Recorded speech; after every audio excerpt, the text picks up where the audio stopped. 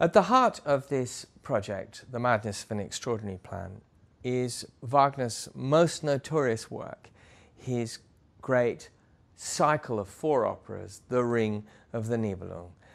And this is one of those works of art like the Sistine Chapel or, or, or Homer's Odyssey that stands as an awe-inspiring monument and maybe people are not even sure that they want to tackle it because it's so huge and seems so extraordinary that somebody could write an opera that lasts for 17 hours. Well, it's four operas, but they all belong together. It immediately became clear to me that you could dramatize this. This is a wonderful story. It has been told, of course. There have been films about Wagner, there have been biopics, there have been other plays about him.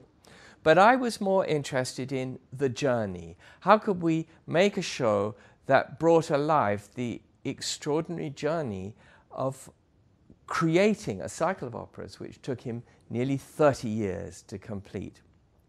And the title of our show actually comes from a letter written to him by the great composer Franz Liszt.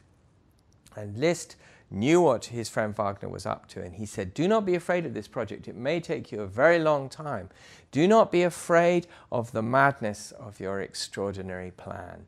But remember, he said, the uh, chapter of the cathedral in Seville. They said to the architect, Build us such a cathedral, build us such a temple that in many centuries to come, people will say they were mad to undertake such an extraordinary plan, but behold, that cathedral still stands today. And it's with that wonderful story that Liszt encouraged his friend Wagner to embark on this plan that is not only extraordinary, but as Wagner himself said, preposterous.